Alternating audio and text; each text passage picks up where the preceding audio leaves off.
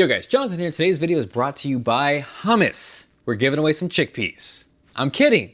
For that one guy out there who is furiously typing salt into his keyboard right now, I'm actually teaming up with Judner. So we're sponsoring this video to give you guys a chance to win your own Galaxy Note 9. Subscribe to both channels and check out the details down below.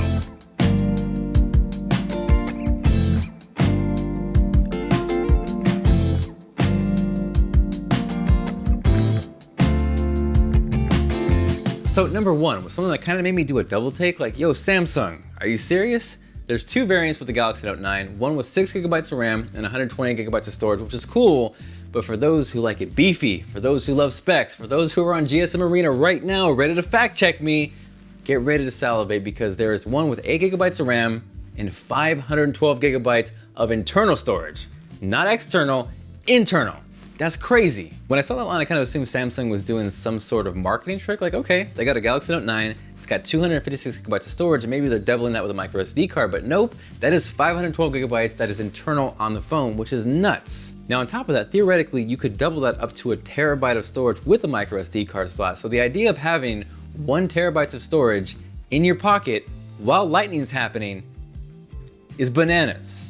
So for those out there who love their FLAC files, their RAW photos, for those who hate the cloud and gotta have those files locked and loaded ready to go, the Galaxy Note 9 is very tempting. And more importantly, as you'll start to see, it separates itself from the Galaxy S9 Plus, which is really important. So number two, we all saw the press kit, we saw the leaks, and we were all wondering, why does Samsung have a Toy Story alien colored S Pen coming with this phone? And the reason for that is not only is it just neon colored, it writes in neon too. Now I get it, that's not some revolutionary, game-changing feature, but it's a cool way to separate itself, and it is worth noting that that feature is exclusive to the Ocean Blue Note 9, not on the Lilac Purple, which are the two available colors. Now also like the leaks may have suggested, the S Pen now features Bluetooth Low Energy, which essentially means it turns into this little control stick that you can use for a multitude of things. You can use it to launch applications, you can trigger the shutter on your camera to take a photo, which is really helpful. Imagine you got it locked on a tripod away from you, just click the S Pen and you take in the picture.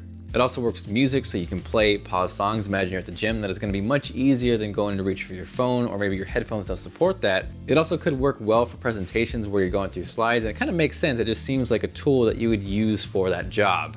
So yeah, the S Pen beyond that is kind of going to do what it does at its core. That's why you would buy a Galaxy Note is for that S Pen. But I think this year, it was actually a nice way to spice things up a little bit. Now number three, yes, we saw the leaks, we saw the rumors that the Galaxy Note 9 was allegedly going to have a 4000 mAh battery, but they did it and that surprised me given their track record. Now this isn't me bashing Samsung for what happened to the Note batteries, they owned up to that, they fixed that, but I think all of us were a little disappointed last year with the Note 8 when we saw the battery capacity, but this year they stepped it up and 4000 milliamp hours is great because it separates itself again from the S9 Plus which is 3500 milliamp hours. That should actually lead to some fantastic battery life and I'm excited because again, it adds some separation between the S Plus models and the Note lineup. For the past two years, I think the general consensus was the S Plus model kind of felt like the Note without a pen that was released six months earlier. Now the display is 6.4 inches on the Galaxy Note 9 compared to 6.2 on the S9 Plus, and more importantly again, I think it's those three things, the storage, the battery life, and the S Pen,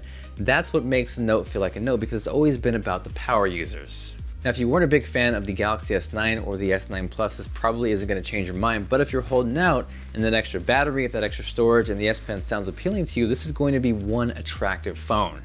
Now the camera is very similar to the S9 and S9 Plus with the dual aperture mode. There is one tweak though. The Galaxy Note 9 is going to feature a bunch of AI tweaks, so it's going to scan the environment and then know whether you're taking a picture of a cat, of food, of a flower, of a human, and then optimize that to give you the best possible settings. That is something I'm always a little bit skeptical about, but I'm looking forward to testing that out and seeing if it's worth it or if it's a gimmick. So definitely stay tuned when I get my hands on one in-house. Beyond that, yeah, it kind of is a beefed up Galaxy S9, but that's not a bad thing. I think Samsung is more importantly getting back to their Note roots with this phone. You got a Snapdragon 845, USB-C, headphone jack, fast wire charging, fast wireless charging, water resistance. Overall, it's just got all of the essentials. And more importantly, it's a really well-rounded phone. I think for the most part, people are going to enjoy this.